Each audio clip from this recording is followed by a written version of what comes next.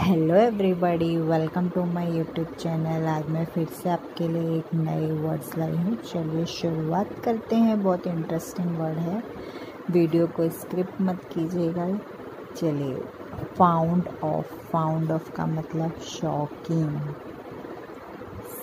Second है he was fond of grapes वह अंगूर खाने का शौकीन है। राइट अवे तुरंत जाना। I am fond of book मुझे बुक पढ़ने का शौक़ है। ओके.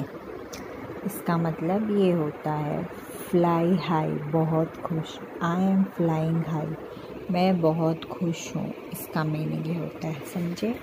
होप्स आपको ये नए इंग्लिश के सेंटेंसेस पसंद आए होंगे।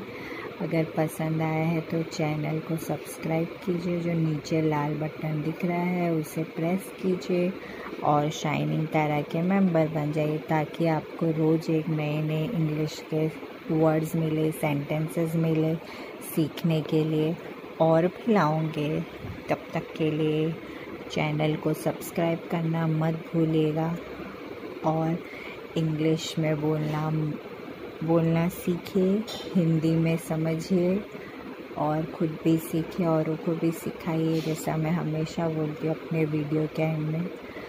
और तब तक के लिए बाय बाय नमस्ते, जय हिंद।